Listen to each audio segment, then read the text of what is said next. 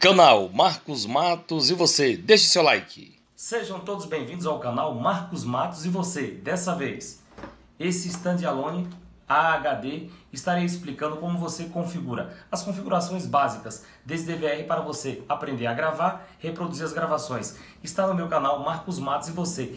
Deixe seu like e comente aqui embaixo. Dicas para configurar. Você compra esse standalone em HD ou DVR que seja, é gravador de imagem, né? Vamos às primeiras dicas, né? Você vai abrir ele, vai desparafusar aqui. Eu já desparafusei para ficar mais fácil aqui no vídeo. E você tira essa tampa, a proteção. Aqui dentro você vai encaixar o HD. O HD é a parte, você tem que comprar o HD à parte, né? Então para encaixar o HD é muito simples. Aqui tem a conexão SATA e a conexão para alimentar. Ou seja, o cabinho SATA, o cabo de dados e o cabo que vai alimentar o HD. Então vamos colocar aqui facilmente dessa forma. Não tem como você errar porque vai encaixar, cada um tem a sua conexão. Alimentação esse maior, só conectar aqui. Conectou, alimentação e agora os dados, né?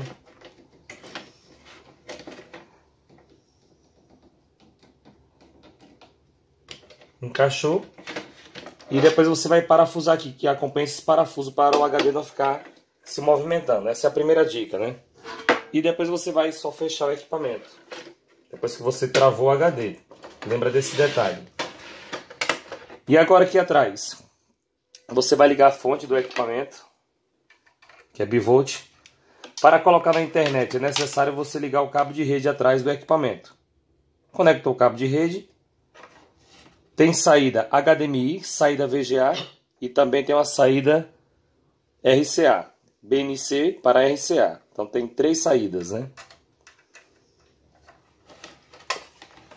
E você também vai ligar o mouse para, para entrar no equipamento, para mexer no equipamento, entrar nas configurações. E agora vamos entrar na, nas configurações do equipamento. Esse standalone, né? Ou pode se chamar de DVR. Né? Na caixa, como é modelo importado, vem escrito standalone. DVR ou gravador de imagem. Dá na mesma, né?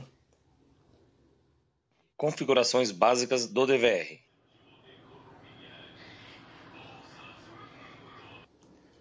Configurações desse DVR, né, no caso o standalone, ou pode se chamar de ou pode ser chamado também de DVR, né? HD. Vamos para essa configuração. Vou ligar o equipamento.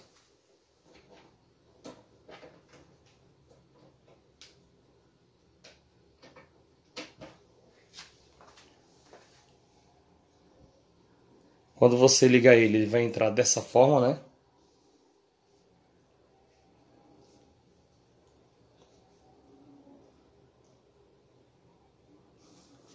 a compressão H265, né, para mais qualidade em relação à gravação das câmeras, né?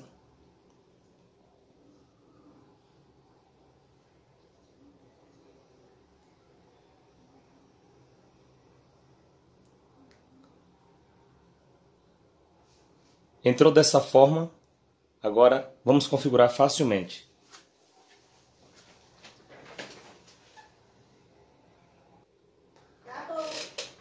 Saiu sua voz. Depois eu corto aqui, é brincadeira, viu?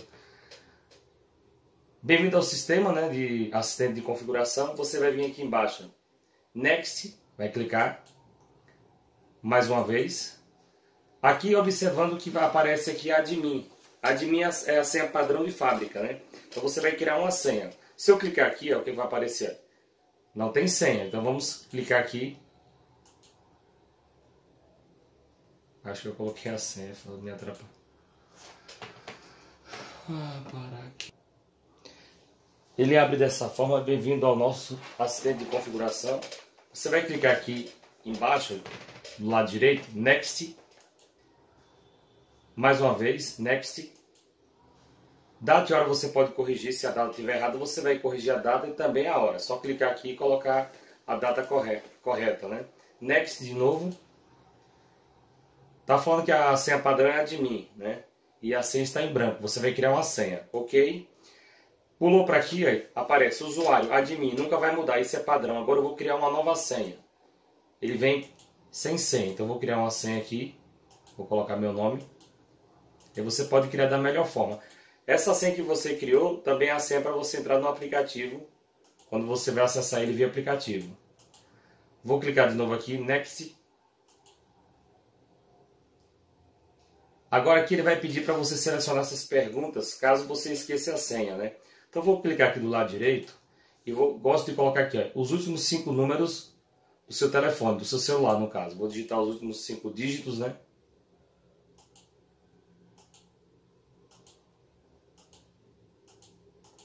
A segunda pergunta que eu vou selecionar, vou colocar aqui, ó, é, qual é o seu aniversário? Por exemplo, já tem aqui, eu vou colocar um exemplo aqui do meu aniversário, né?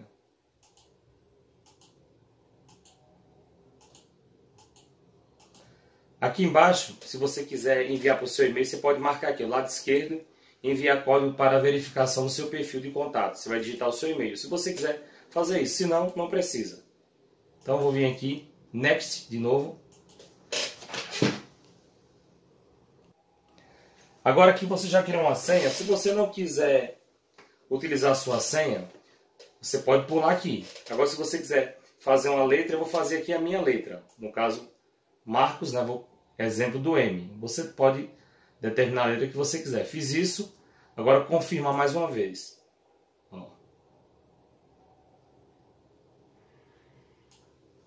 Definido com sucesso. Ok. Vou fechar aqui. Aqui já está mostrando que o cabo de rede já está conectado. Mas eu vou fechar aqui no X. Configuração aqui, menu principal. Eu tenho menu principal, assistente de inicialização para você colocar direto no celular, né, para acessar via aplicativo, modo de gravação. Quando eu entro no já pede a, a, minha letra, né? Se você fosse a senha, ia pedir a senha, está pedindo a letra para entrar nas configurações. Eu vou colocar de novo aqui. Arrasto, seguro e arrasto. Sempre deixando em manual para gravar. Clico de novo aqui, menu principal, assistente de inicialização, modo de gravação, reprodução para você reproduzir as gravações se eu clicar aqui, aí, reprodução, ele me dá aqui reprodução manual, reprodução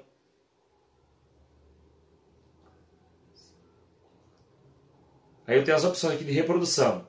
Eu sempre gosto de vir aqui ou reprodução manual ou pesquisa inteligente ou pesquisa de rosto, né? Que, vai, que eu estarei mostrando.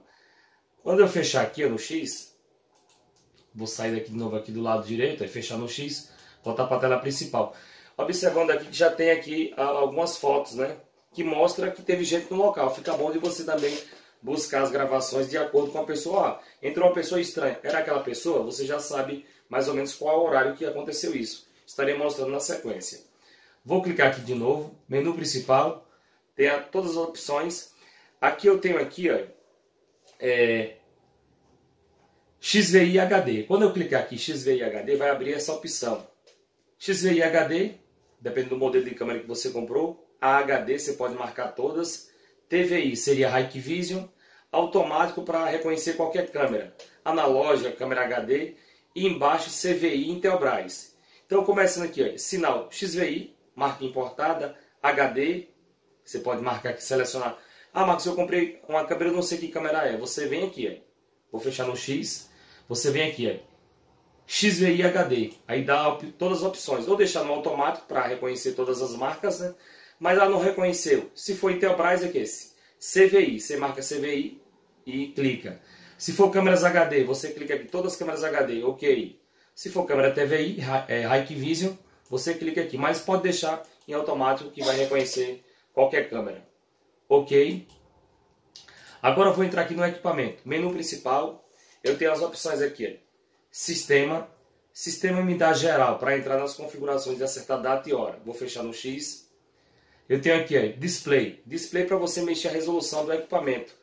Às vezes você comprou o DVR e tem uma TV de baixa definição. Você tem como baixar a resolução aqui, ó, para esse formato menor. Se sua TV for mais moderna, você pode deixar aqui uma resolução maior, que seria é, 1920 por 1080. E clicaria e vem aqui OK, mas eu não vou salvar porque minha TV não, não é essa resolução, é menor. Então eu vou cancelar aqui. Aqui eu tenho é, gestão de canal. Gestão de canal é para você mudar as configurações aqui da câmera, né, do DVR. Comprei um DVR de 4, dá para ligar quatro câmeras cabeadas E se eu clicar aqui do lado esquerdo, marcaria aqui quatro câmeras cabeadas e mais duas Wi-Fi. Ou seja, eu comprei um DVR para quatro câmeras, só que eu consigo colocar mais duas, dá um total de seis câmeras. Ah, Marcos, eu quero comprar só câmeras IP. Você pode transformar um gravador de 4 para 16 câmeras IP, ou seja, câmeras Wi-Fi ou câmeras IP cabeada ligado através do switch ou roteador. Então você tem como transformar aqui, vai depender da sua necessidade. Né? Aqui eu posso transformar ele aqui é, para 4 cabeadas e 2 IP e daria ok, o equipamento vai reiniciar. Vou fechar aqui, mais uma vez. Então basicamente essas, essas configurações básicas aqui. Vou fechar aqui, Agora, entre, vou fechar de novo aqui. Agora vem o menu principal. Eu posso vir aqui, aí, avançado. Eu tenho aqui gerenciar HD. Aqui tem um HD de 1 TB, ele já formatou. Ou você poderia vir aqui ó, e formatar disco. Mas aqui já está gravando, né? Vou fechar aqui. Aqui tem como restaurar ele de fábrica. Ah, Marcos, deu erro no equipamento, eu quero mudar as, eu nas configurações, eu quero voltar padrão de fábrica. Você vem aqui, ó restaurar. Clique em restaurar e marca tudo aqui. Marcou tudo, vem, ok, ele vai restaurar de fábrica. Vou fechar aqui. Fechar mais uma vez. Agora eu vou fechar mais uma vez aqui. Marcos, eu é, gravei as imagens, já tá, tá, as imagens já estão gravadas aqui. Liguei só uma câmera para fazer um teste. Eu quero reproduzir essas gravações, como é que eu faço? Clico aqui, venho reprodução. E aqui eu tenho vários tipos de reproduções que você pode estar testando aí. Eu prefiro aqui, é sempre ou reprodução normal, pesquisa inteligente ou pesquisa de rosto. Vamos fazer aqui a pesquisa de rosto. Uma câmera só está selecionada, eu vou dar OK. Ó, aqui já mostrou aqui que aconteceu o evento 15 horas e 4 minutos e 15 horas e 11 minutos. Eu vou clicar aqui, play. Já está a imagem aqui. Ó já está reproduzindo essa imagem que eu estava mexendo no equipamento. Então é muito simples. Se você quiser adiantar a gravação, você vem aqui no rodapé. Você pode acelerar essa gravação. Ó. Vai até o 8. Aqui, ó, vou acelerar aqui, vai mostrar aqui na tela. Vou pular aqui 2, 4, 6, vai até o 8 para aumentar a velocidade. Eu posso parar aqui. Parei. Se eu clicar aqui na tela e arrastar, eu consigo dar um zoom. Para voltar, clica duas vezes no mouse, para voltar para a tela. Ó.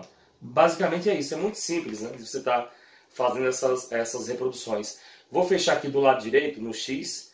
Agora vou entrar aqui, menu principal, é, alarme, e eu tenho aqui aí, detecção de rosto, que é para ficar aquele arquivo. Eu posso marcar, selecionar o canal que eu quero ou colocar todos os canais e vir aqui dar OK. Né?